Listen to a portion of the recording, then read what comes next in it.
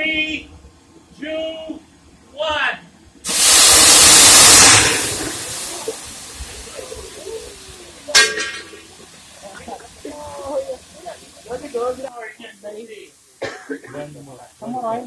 Ready again?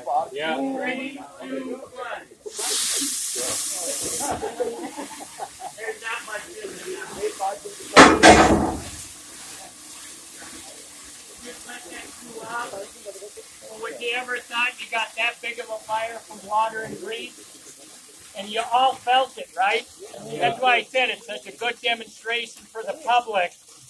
Those videos, if you want to get you that are going to work for the fire department, you want to teach people, don't tell them to do stuff. You can tell people all day long, don't put water on a grease fire. Yeah, yeah, yeah.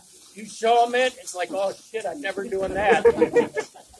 so, and you want news media to come to your event to film it to show people.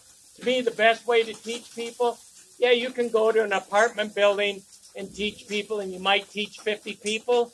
If you can get the news media to cover it and you do this same demonstration, you've just taught a million people. So, and news media like to come when you're not just talking and you can show them fire.